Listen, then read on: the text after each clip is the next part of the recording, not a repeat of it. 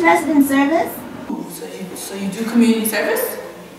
Yes, we're an organization on campus that goes out in Bennington and do wonderful service. Oh. And you're the group behind, uh, what is that group called? Oh, BPI and Ca- Casino Night. Yeah, we often work with BPI. Ooh, yeah. I like that. It looks wonderful on your resume. Yeah, I think I'm really interested in this. Aoife, Who are you talking to at 1 o'clock in the afternoon? it's Monty. Monty from Moose Club. Listen, it is 1 o'clock in the afternoon. I'm trying to take a nap. Give me this phone. Give me this phone. Who is this? Monty from Moose Corps.